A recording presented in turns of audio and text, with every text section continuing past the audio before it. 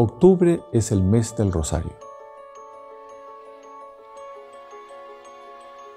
La Santísima Virgen pidió en Fátima, recen el rosario todos los días.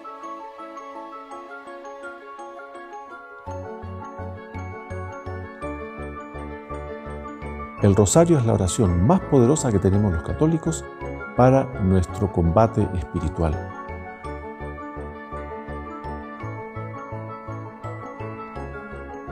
Le invito a que recemos el rosario con los caballeros de la Virgen.